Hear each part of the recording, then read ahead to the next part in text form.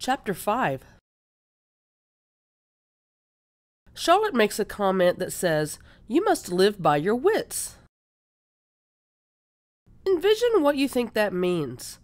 Give some examples. If a person says they must live by their wits, what does that mean?